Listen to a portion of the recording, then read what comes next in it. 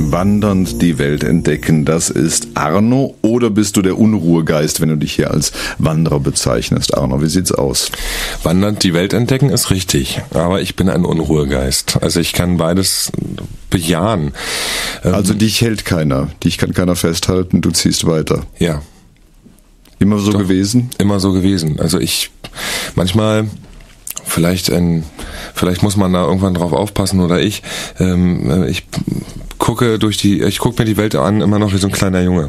Bin ganz gespannt, was passiert und was ich entdecken kann. Und ich muss weiter. Also man, man kann mich nicht halten. Ich bin froh, ähm, dass ich enge und tolle Partner an meiner Seite habe bin da auch schon oftmals auf die Nase gefallen, äh, Freunde zu haben, äh, die, die das wirklich zu verstehen, ist, ist, die das wirklich verstehen, ist manchmal nicht so leicht, auch dieses Leben mitzutragen, was man da, dazu führt. Aber es ist so, ich muss gehen, das verlangt auch der äh, Weg der Musik von mir, sonst bleibe ich halt einfach in, in meinem Häuschen stecken und, und kann und, meine Musik auch nicht. Und das verlangt auch dein, dein Naturell? Ja, das ist, ich finde das spannend. Also ich muss, ich muss raus. Also ich war noch nie so ein Mensch, es ging schon sehr früh los bei mir. Ich, ich hätte mir das nicht vorstellen können.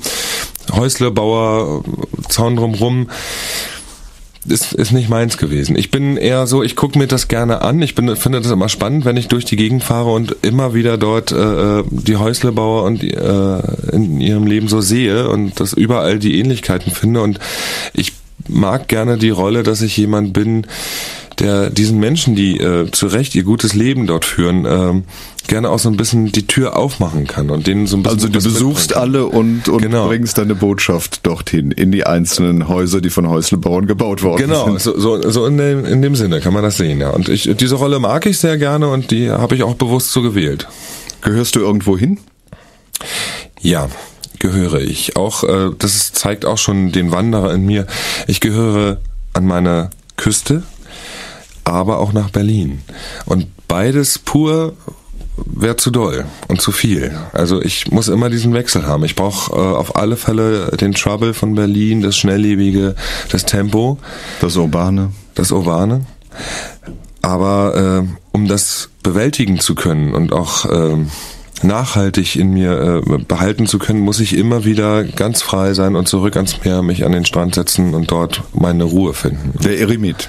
Da darf dich auch keiner stören. Richtig, genau. Da sitze ich an meinem Flügel zu Hause oder an meiner Gitarre, mit meiner Gitarre am Strand und möchte auch in Ruhe gelassen werden. Und, und der Strand ist an der Ostsee, wie du eingangs schon gesagt hast. Richtig, genau. Und äh, die ist auch ganz besonders. Es ist halt ein Meer fast ohne Ebbe und Flut. Es gibt sie zwar, aber man sieht sie nicht. Und äh, Sie ist schön salzig, sie ist herb, sie sprüht dir Gischt ins Gesicht. Ich mag die Ostsee im November und im Winter lieber als im Sommer. Und das bringt mir Kraft, das bringt mir Freude. Ich mag nicht, ich gerne Sommer und Mittelmeer und 30 Grad. Mag ich schon, aber kalte Ostsee ist mir lieber. Wenn du so unterwegs bist und ähm, halt von Ort zu Ort ziehst und gerne die verschiedenen Orte hast, wo der Wechsel stattfindet, hast du denn manchmal das Gefühl, dass dir vielleicht dann doch etwas fehlt, das, was, was so die Häuslebauer dann haben, wie du sie eben bezeichnet hast? Ja, das ist wahrscheinlich der Grund, warum ich sie gerne besuche.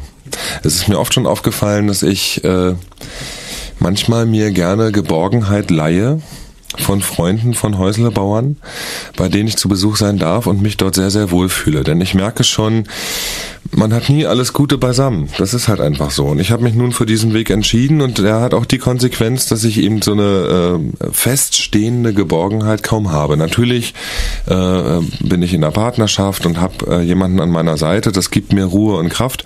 Aber diese typische häusliche Geborgenheit, die habe ich aufgegeben und das merke ich manchmal, wenn ich Häuslerbauer besuche, wenn wir in dem Bild bleiben wollen. Wie viel Geborgenheit bieten dir denn deine Lieder? Die größte die größte, denn das ist das, woran, worein ich mich flüchten kann. Und ähm, ja, wo sich auch, ähm, das ist irgendwie der Verbindungspunkt, bleiben wir nochmal bei dem Bild, zwischen den Häuslebauern und mir. Das ist so unser Verknüpfungspunkt. Und ich schreibe meine Musik dorthin und äh, die Häuslebauer Bauer greifen es auf und ich weiß, ich kann etwas geben, sie können etwas nehmen und mein größtes Gut ist, wenn ich durch meine Lieder etwas zurückgeben kann, vielleicht von der Geborgenheit, die ich mir auf der anderen Seite leihe. Sehr philosophisch philosophisch jetzt, aber so kann man es beschreiben. Und deshalb finde ich auch einen ganz großen Halt in, in, in, diesen Liedern, denn ohne diese Lieder, ohne meine Musik, würde ich diesen Weg ja gar nicht gehen. Ich, ich gehe ja nicht los, um der große Musiker zu werden und dazu brauche ich halt Lieder. Das ist ja genau andersrum. Die Lieder sind da. Und die lassen mich treiben, die lassen mich gehen. Und jetzt verteilst du T-Shirts. Was dürfen wir erwarten?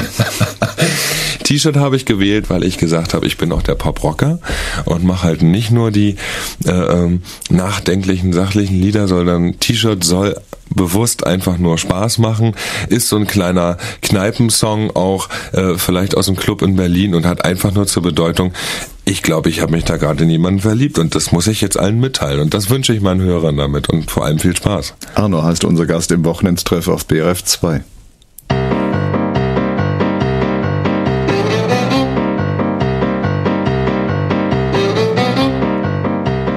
ein richtiger Fädensong. Ja. Arno.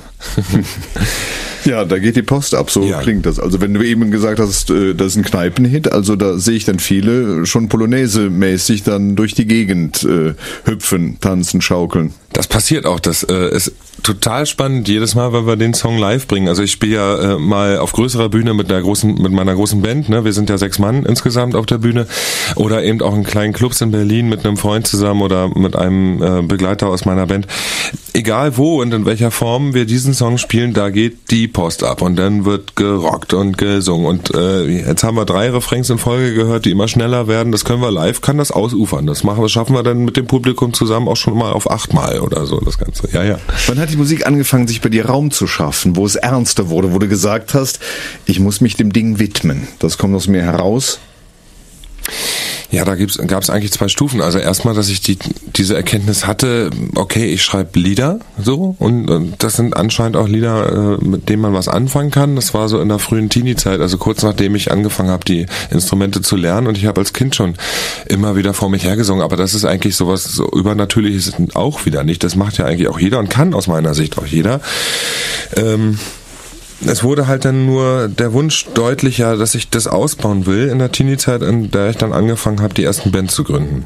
Dann habe ich über Jahre äh, gearbeitet neben der Musik und wie gesagt, eingangs habe ich es beschrieben, habe dann immer wieder in Clubs in Berlin gespielt und dann kam irgendwann der Punkt, äh, als ich sagte, du bist jetzt äh, Mitte, Ende 20, jetzt, jetzt stell dich der Sache. Du willst das mal richtig versuchen und du willst letztendlich auch nicht, wenn du äh, nachher am Sterbebett liegst, dich ärgern, dass du das nicht gemacht hast. Und probier das jetzt mal. Und dann habe ich äh, tatsächlich ganz risikobereit, äh, ruhelos wie ich bin, meinen großen Job aufgegeben, ohne irgendeine Sicherheit. Das ist sehr spannend, das ist heute noch sehr spannend, aber ich habe mich dem gewidmet und glücklicherweise sitze ich jetzt hier. Dein Job ist ein Job gewesen, da zuckt der eine oder andere zusammen und sagt, uh, das traue ich mir nicht zu. Du hast es dir zugetraut, mhm. du bist unterwegs gewesen. Als was? Als Sozialarbeiter. Also ich habe klassisch äh, staatlich anerkannter Erzieher gelernt, auch bei mir im Norden.